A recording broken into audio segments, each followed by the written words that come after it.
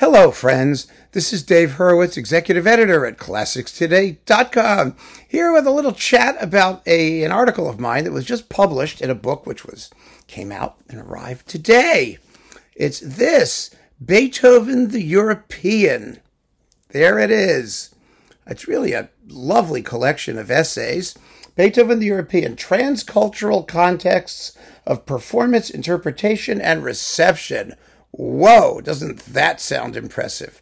Don't you love academia? They have a way of making themselves sound so important.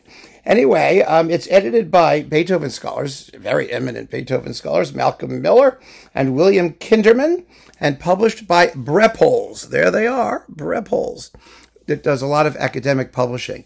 Now, this book was the outcome of a symposium in which I participated that was supposed to take place in Lucca, Italy, but which was canceled because of COVID and turned into one of those online Zoom conference things. And in that, I presented a paper.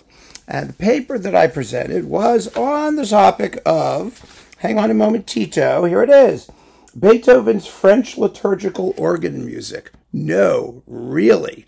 That was the title. There are all kinds of wonderful essays in here. We'll talk about a few of those in a moment.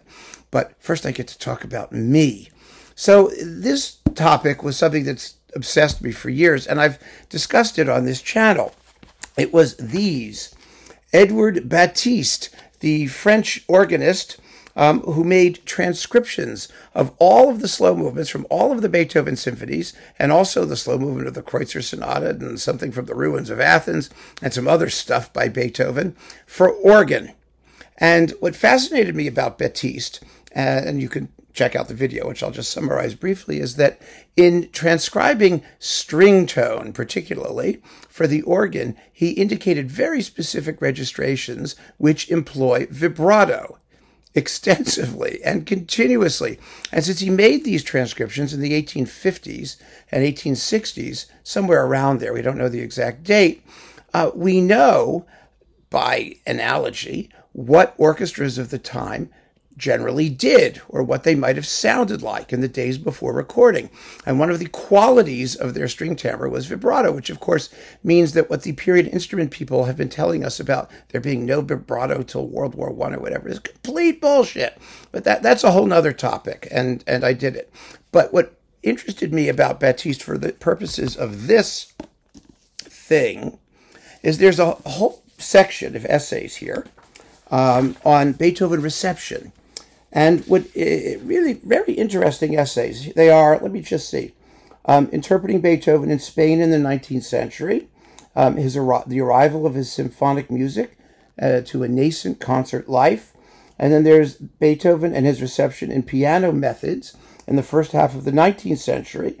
And there's something called Who Are You, Mr. Beethoven? And then further light on Clementi's 1807 contract with Beethoven. Beethoven's Moonlight Sonata and the Japanese reception of Western music, and reception and reflection of Beethoven's work at the Philharmonic Society of New York from 1842 to 1892. So these are all very, very interesting topics, and these essays are very interesting to read. And there's a whole other section. There's there's performance and analysis, and there's let's see what else have we got here. Other juicy stuff politics, aesthetics, and ideology. That's where musicology kind of goes off the rails because these people usually aren't qualified to talk about those things, but they try. And some of it is actually quite interesting. We've got William Kinderman, who's written um, an enormous intellectual history on Beethoven's music, uh, Beethoven's Ninth, as a disputed symbol of community, from Thomas Mann's Dr. Faustus to the Brexiteers of 2019 a little bit ambitious, wouldn't you say? And then we've got uh, Beethoven and the Congress of Vienna and the Concert of Europe in 1822-23. Beethoven's um, 100th Todestag in 1927. Ideological battles over the composer and his music in Weimar political culture. I mean, all, this is the kind of stuff I used to do um, back in my days as a wannabe uh, history professor. So so this is this is fun stuff for me, and it was a very very interesting conference. Um, and the books that they publish, that uh, these folks from Lucca publish, They're doing also the complete Boccherini edition and other things. They do excellent, excellent work and classy work, attractive work, top quality. I'm not recommending that you run out and buy this. It costs like 150 bucks or something. It's very expensive. It's for academic use, really, for libraries and things. But it's a beautiful collection of essays. And the point that interested me and what I wanted to tell you about this, I just thought it was really cool was Beethoven reception. How did Beethoven become a cultural monument? I mean, that was the question. And what really got me going was the idea that, you know, uh, Batiste was the organist at Les Halles in France, Les Halles, you know, the marketplace, which was a really seamy part of the city, um, really kind of sleazoid. And, and his transcriptions were played apparently um, as communion music, church music during the Mass by French organists. They were published. And if somebody from Les Halles, you know, some hooker or street person, decided to go to church, they might very well have heard Beethoven. Because the difference between Beethoven, you know, the classical composer that we all know and love, and Beethoven as Beethoven, the icon of classical music, the one who, who got the dog named after him in the movies, that Beethoven, that requires a level of popular assimilation of his music that just becomes so that it just becomes part of our DNA culturally. How would that happen? It's not from people going to symphony concerts, especially in Paris, you know, in the 1850s and 60s, where there was there was there were a couple concert series, but there was basically the Paris Conservatory concerts. So there were only about a dozen of those a year. I mean, they played tons of Beethoven. That's what they were formed to do. But it's still the number of normal people who would be acquainted with Beethoven's music, it had to be through popular media, through organ grinders playing tunes, through excerpts and sniglets and things. And one of those sniglets that people could hear in their average daily life was as communion music.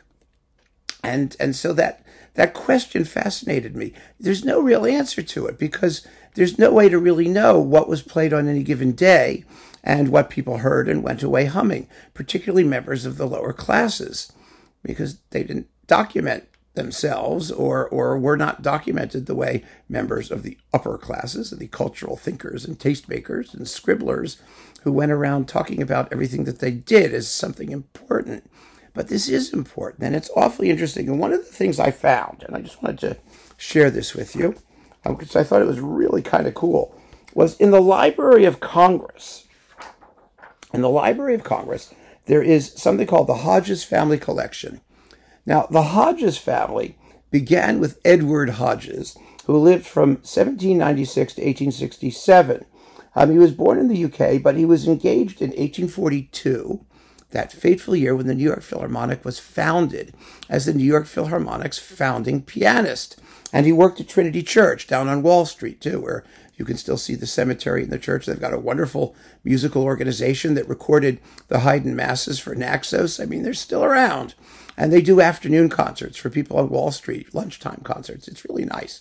I used to go to them. So, you know, when I worked down there. So, Edward Hodges was an interesting character. He had two children. One of them was Faustina Hasse Hodges. Now, do you know how Faustina Hasse was? Originally, Faustina Bordoni she was Hasse's wife, and they were the power couple of Baroque, op- Baroque opera in Handel's day. It was Faustina who had the fist fight, you know, um, during the performance of Astianatte with uh, or whoever the other the other soprano was that caused such a scandal in London. So Faustina Hasse Hodges was his daughter, and his son, the minister, was John Sebastian Bach Hodges. Interesting, isn't it? Now, John Sebastian Bach Hodges was a minister in Maryland, and his papers and his music collection are extant at the Library of Congress. And in that music collection is a selection of these transcriptions. Here they are, all performed on the, the, the Aeolus label by Diego Innocenzi, there he is, or, Chenzi, however you want to pronounce it, a fabulous Swiss organist. So, anyway, those things were in his collection. Now, if they were in the collection of John Sebastian Bach Hodges, just love the names, uh, that means that people in Protestant churches, or a Protestant church in Baltimore, were listening to excerpts of Beethoven's symphonies played as church music that were composed as Catholic liturgical music um, in England in the 1850s. And this is one of the ways in which Beethoven's music could have been assimilated, have become popularized as part of people's daily lives. I mean, the reason Batiste made these transcriptions was because there was a furor in France about the fact that French organists would use as communion music, you know, operatic tunes, greatest hits from the theater, you know, the ballet of the nuns raised by Satan and Robert Robert le Diable by Meyerbeer. You know, this was causing a scandal because of the the secularness of the music and the fact that people would come to church to hear the music. I mean, quite often because they didn't have that much experience of professional music making and that of that caliber, and to hear what the big tunes were at the opera. You go to mass and pick them up, and so as a result of that, Batiste made these Beethoven arrangements because he wanted to create a higher level of French liturgical music. There was also a lot of improvisation going on in original stuff too, don't get me wrong. But it's very ironic that the idea of, of raising the level of liturgical music was instead of writing original liturgical music, which is what happened toward the end of the 19th century, they just plagiarized from what they considered to be a more exalted source. Anyway, so this spread around. How much it spread around, I don't know. Uh, the extent to which you'd have to look at all of these music collections and see what was published and who owned it and you know what survives in their papers and their collections um, that we can still trace because the oliver ditson company in boston purchased the rights to publish all of these organ transcriptions which they did and so they were available as part of normal repertoire uh, for church organists in the United States. How many people bought them and listened to them? I don't know. How many people encountered Beethoven this way? We don't know. But it was one of the ways. One of the ways that Beethoven became Beethoven with a capital B. So that's the essay that I did. And I was very honored that it was accepted to be presented at this symposium and then published in the collection. So I just wanted to tell you about it because I think it's kind of nifty.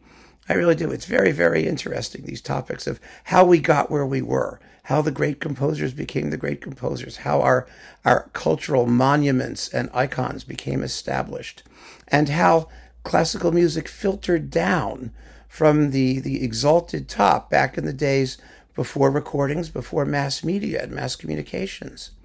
Um, these are all things that I just find absolutely gripping, frankly, as topics for research and study and so I wanted to share it with you a little bit. So thank you so much for joining me. Keep on listening, friends. Take care.